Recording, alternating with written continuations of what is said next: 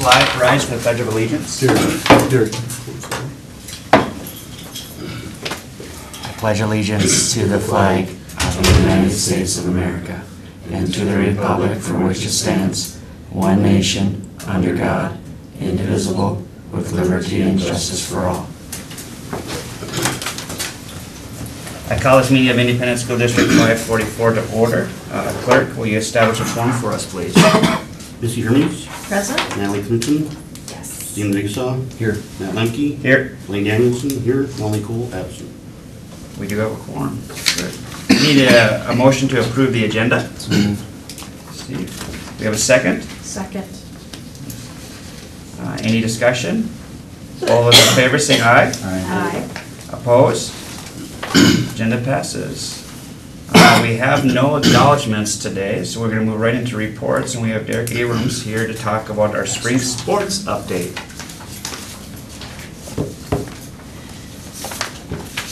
All right, uh, we have a sheet going around, and uh, on on the top is a, just a a section of the spreadsheet I put together based on the information, the data, evaluations, whatever you want to say, that I collected uh, over the course of the spring sports. Uh, And I also got into a little bit about what I felt our strengths, at least related to the spring. This is going to be a lot uh, a lot more informative when we have the fall the winter in there and then start building from year to year. It's gonna be great, great to be able to do some comparisons and see where we heading in the right direction and things like that. Uh, I was very pleased with it. Uh, it took two years to kind of develop and, and make sure the numbers were right. I wanted to be uh, fair in the evaluation and scoring and things like that. So we did kind of a trial run with our spring coaches. They didn't exactly know everything that was gonna be on it, I I had shown it to them, but it wasn't that we had really fully uh, discussed it yet. So they're, they're, all of them were more than willing to, to go through that this spring, and, and these are some results in the work session, after you have a chance to look at it. I can break it down a little bit more. Uh, We had a, just very quickly on the left, you see total number, hundred and sixty-eight is our total number of students that participated in the spring sport, which is pretty close to what we've had in the past. Uh, One difference between this number and previous numbers is that it, I did not include any seventh or eighth graders. And the reason for that is when, when we're looking at our total number of kids, um, and what, what, what do our programs need, I wanted to look at nine through twelve. We're always gonna have seventh and eighth graders that come up, especially in some of our girls' sports. That's great. I have zero problem with that. Um, they add to it. It's just, I wanna see what are our numbers nine through twelve, because that's what we kind of base things on. Uh, the total participation number sixty-eight percent, what that means is that's one hundred and sixty-eight kids is sixty-eight percent of the total number that our coaches felt was our ideal number of kids to have. But it's kind of a pipe dream. What, for various reasons, our size and things like that, we may not reach that hundred percent ever, which is okay. Can you explain that again? How many, sixty-eight percent? Sixty-eight percent of what, I, I asked every coach, I said, so exact, how many kids, not counting seventh, and eighth graders, would you say is ideal for, a- for a program, to compete with the Brainerds, the St. Cloud Techs, things like that? Uh, what, what should we have? What, what would you love to see someday? So And, the uh, number of participants, not, Number of- not the quality of. not the quality, just the total number of the number of participants. kids to have. Okay. Now, you know, again, some of them, it's a lot easier to do when you're a St. Cloud Tech or a Brainerd, and you have, you know, thirteen hundred kids in your high school, where we have six hundred. Um, but that's where the other parts come in too, where I talk about our retention rates. That's an important number to look at, our multi-sport athletes, things like that. So I'll, I'll get more into that if you have questions and you want, you wanna look at that. I was very pleased with it, uh, both how it worked and our numbers and, and the status of most of our, uh, programs. Uh, just highlight some accomplishments from this spring. Uh, we had some state tournament appearance, appearances by individuals. In boys track, Robert Sewell, uh, finished ninth in double A. And for long jump. And in girls track, Sabrina Froning, uh, finished ninth, uh, in the three hundred meter hurdles. Jane McKeever in the pole vault and Audrey Mudford in the high jump. One thing to note with track too is track is one of only three sports that we have, or there four if you count boys and girls.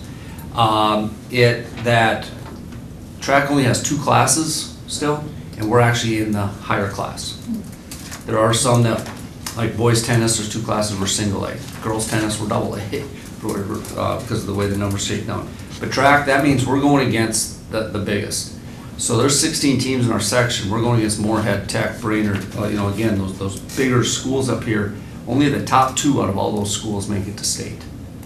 And so that's pretty impressive, just getting this number down there.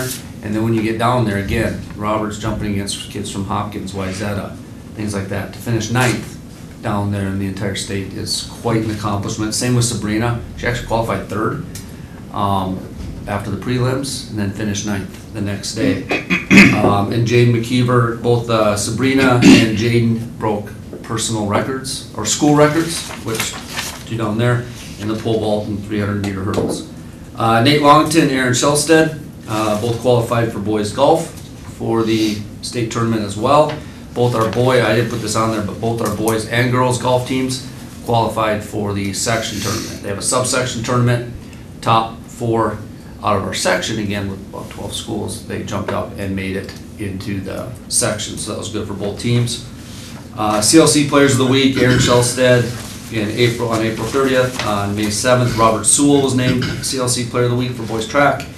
And on May 14th, Tori Ratz was named for girls softball as well as Audrey Mudford for girls track. So we did have some CLC Players of the Week as well.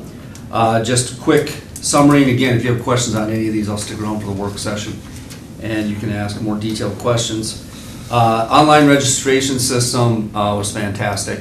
It, uh, the, the only issues we ran into was probably user error and us trying to learn everything that is actually involved in there. There's several times that I thought to myself, I really wish it did this, and I call them up and they're like, well, it actually does. You just have to click here, click here, click here, and it'll take care of that for you.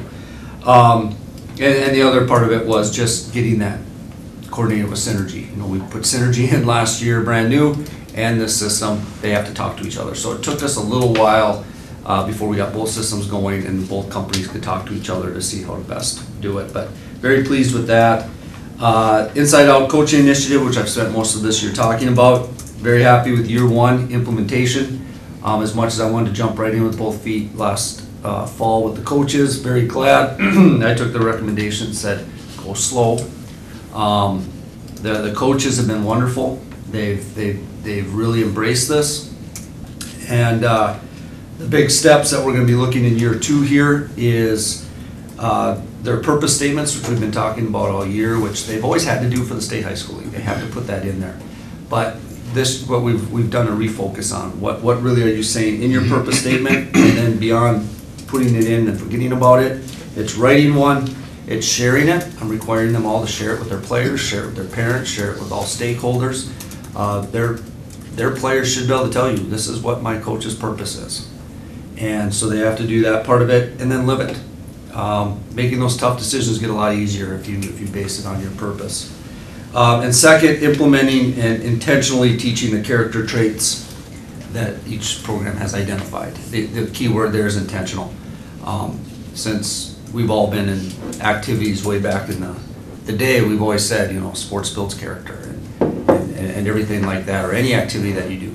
But the thing is, you really have to intentionally teach it, and we're very good at saying that we're, it's an educational process, it's, it's a big part of the school, kids are better off by being in activities. What we're trying to do here in Fergus is show that to you, and intentionally doing that every day, and, uh, so we'll be implementing that as well as year two.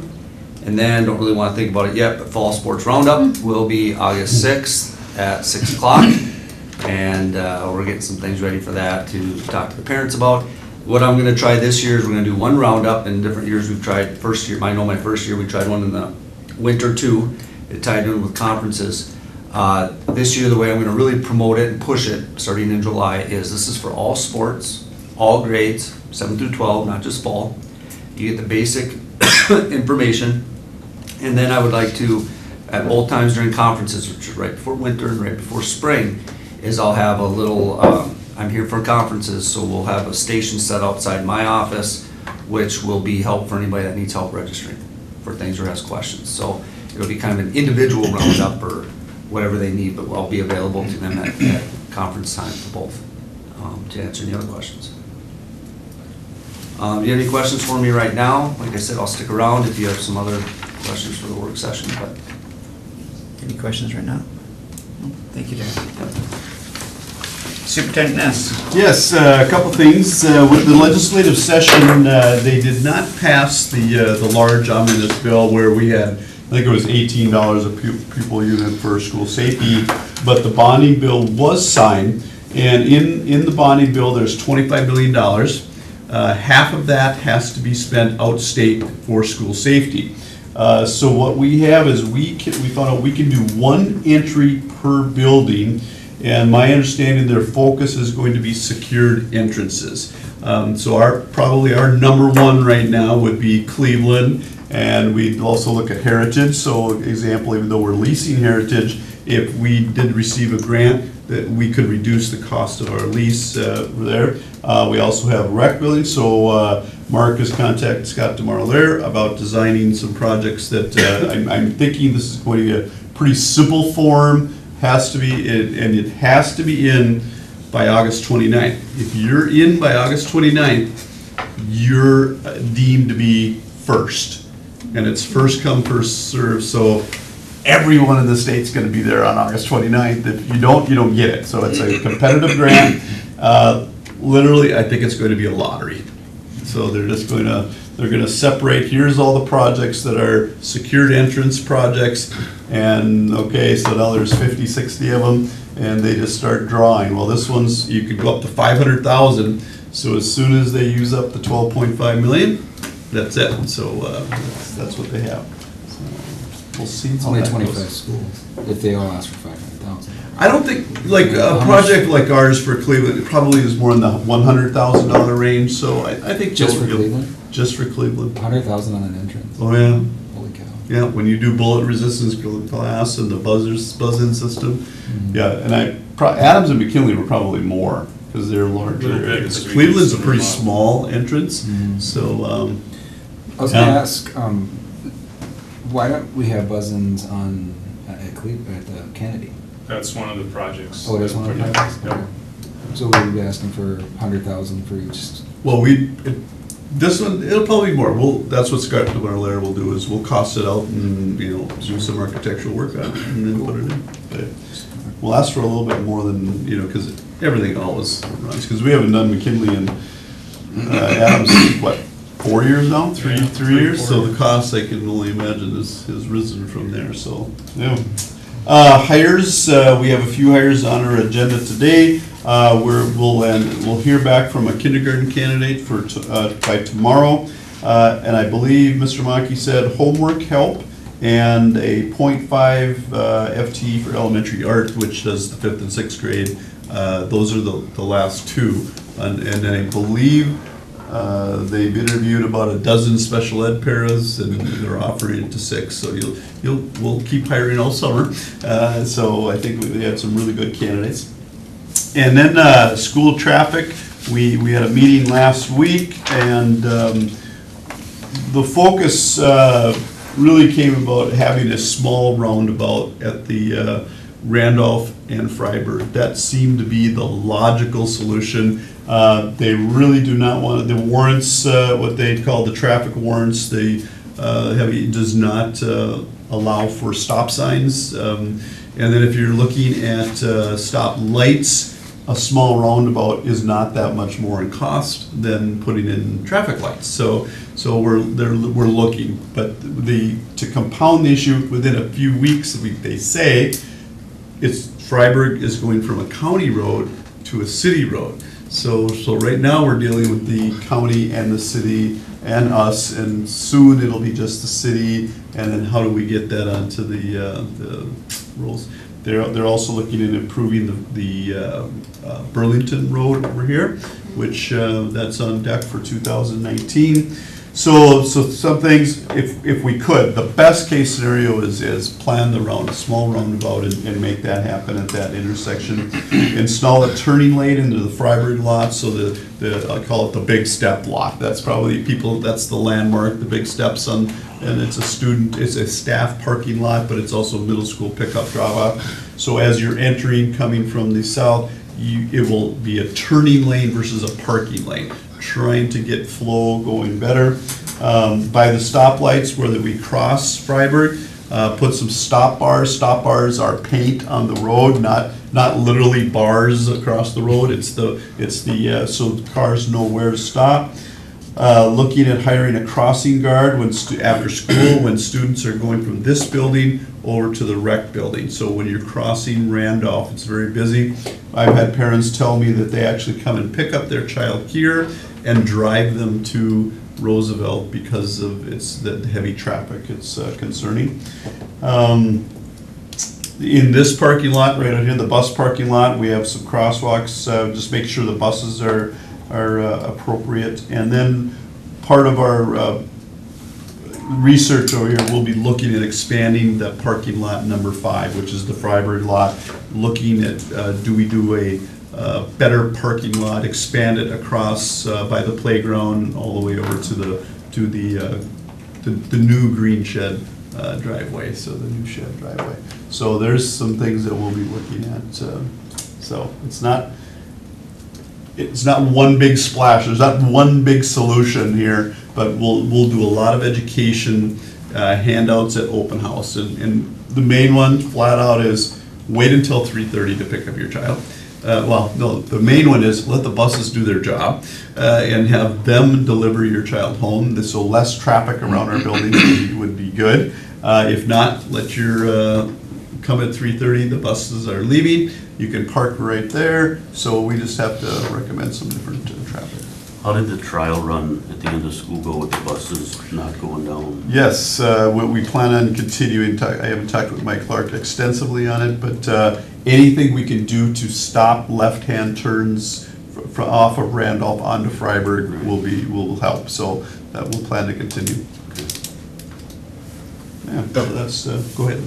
The, uh, just going back on the, the funding for the, uh, for safety and wise, that would be available in 2019, those funds? It'll be for- available, Right away. they, they will let us know by September. The project won't happen until nineteen, 19. but we'll know if we've got funding for it by the end of uh, September. Where's the funding coming from? State, State. the bond bill. Oh, gotcha. Yeah, so we'll, uh, August 29th is the date. I think September thirtieth is they'll notify districts who, who got funded and who didn't, and then we can plan, and it'll be a, a spring, it'll, it'll be a summer project next Sure. summer. Yep. Okay. Any other questions for Superintendent Ness? Okay, moving on to our general consent items, we need to approve the minutes from the June eleventh, two thousand eighteen school board meeting. Uh, Personnel, Superintendent Ness. Yes, we've hired uh, Sally Kerbach as the elementary teacher. She'll be at uh, third grade, and uh, Nathan Pillsbury at third grade also. Um, It's interesting that uh, Kim Kamrowski, there's eight kindergarten, uh, eight third grade teachers now, so they sort of have two teams. And Kim Kamrowski will be mentoring three new people in third grade. So all of a sudden, third grade is a real uh, heavy, heavy one. And then Emily Hebert, elementary teacher, grade five. And then we have two agreements that uh, fall within the parameters, payroll manager and director of community education, so recommend approval of those items. Do we have a uh, motion to approve the general consent items? So moved. Do we have a second? I'll second. Natalie. Uh, Any discussion? All those in favor say aye. Aye. Opposed? General consent items pass. Uh, Moving on to old business, we have the financial budget for FY nineteen. Um, Do we have a motion to approve the uh, financial budget? So moved. Do we have a second? A second. Uh, Any discussion? Uh, just to let you know that my, this budget will last all the way down to agenda item number four, in which case you will add staff. So So that's good. it's not uncommon for my budget to get blown up at the same time. But we do need one. It's a good budget. Yes. We expect that. Uh, Any other discussion? Okay, all those in favor of the financial budget for FY nineteen, say aye. Aye. Opposed? Uh, Motion passes. Uh, Moving on to new business, we have the 2018-2019 facility lease between Fergus Falls Area Family YMCA and ISD 544. Mark, do you want to speak on this before we? Yeah, this is just a, an annual lease that we have, it's, it's uh, funded through our levy, uh, lease levy. Uh, There is an adjustment uh, from 16,000 to 16,500, so a $500 increase. Uh, That was a larger increase than normal for the last couple of years, simply because we went many, many years at 0%. And, uh, So we're just trying to get it up to where it should be. Um, After this lease, uh, then we have come to an agreement that will just go up by whatever inflation is. Whatever that may be, we'll have to figure that out. What are we leasing from them? We we lease gym space from them uh, to run a shared time uh, a- a physical education program where we hire the teacher and then uh, we teach um, Morning sun. Morning Sun kids. Oh, okay.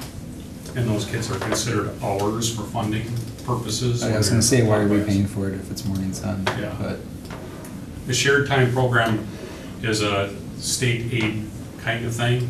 Okay. And so we do also have kids that come over here from the parochial schools to have orchestra or band or whatever, and same kind of thing. When they're in our building being taught by, excuse me, not our building, but taught by our teachers, then they're considered our, our students.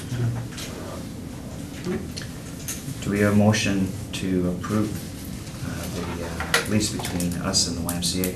So moved. See, do we have a second? I'll second. Ally, Any discussion? All those in favor of the motion, say aye. Aye. Opposed? Motion passes. Invitation for quotes for milk and related products. Mr. Tuck, this is an annual. It's another annual quote that we get for milk, for the, for the food program. So do we have a uh, motion to approve?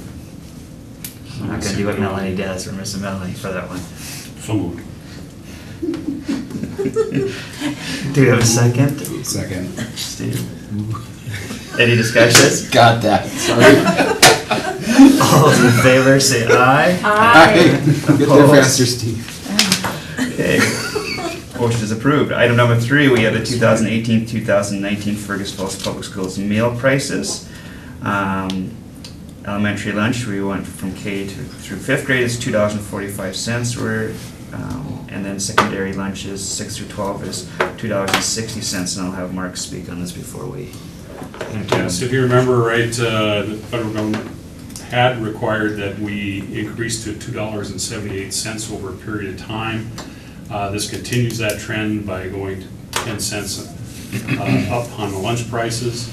Uh, The intent here is to try to expand food offerings and make them more healthy and so forth, so that's what I'm recommending. Mark, just curious, do you know how these prices compare to other schools around the same area? Uh, We're right in there with them, in some cases a little low, Okay, but not, you know, like a nickel or something like that. okay. Do I have a motion to approve the uh, increase in meals? So moved. Do I have a second? I'll second. Ally?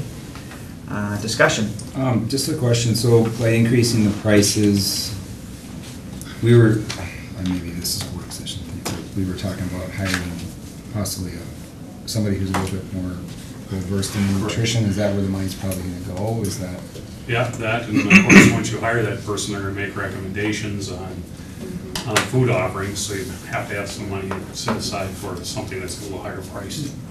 Right, so we will be needing to hire a food service director to replace Becky Shear, but we're also looking at, uh, the service co-op has a registered dietitian and buying additional days, uh, buying days, we don't even have any days right now, but buying days that will help that person.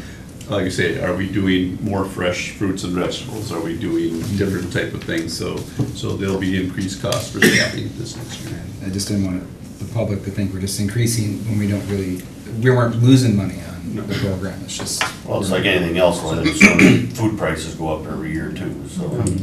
Sure. Any other discussion? Okay, all those in favor of the motion, say aye. Aye. Opposed? Motion passes. Moving on to item number four, we have additional one FTE kindergarten position for the 2018-2019 school year. This is based on increasing enrollment numbers in kindergarten. So do we have a motion to approve this position?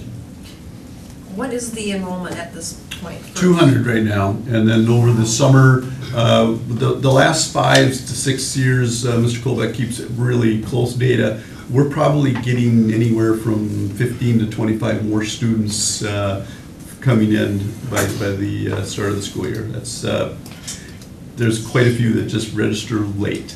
So, so the idea would be, we'll probably be in the two twenty range, which would have, uh, ten sections would be twenty-two students per class. So, right, so bring, uh, one additional means we're going to have ten sections. Correct. We're at nine sections right now. Yep. And, uh, this would be a tenth section. So moved. So moved. Blaine, do I have a second? Second. Any further discussion? Interesting that we're hitting ten, because that's the max we were before we started making all these cuts. So now that we're hitting ten, and that goes through, And those were half-day sections, right?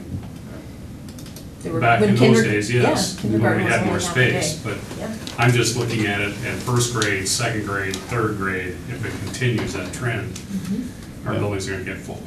So ten years ago, we were at six sections. And We, we were down that low, to six, five and six. you know? Which is a good thing. Yes, it is. So all those in favor of the motion, say aye. Aye. Opposed? Okay, motion passes.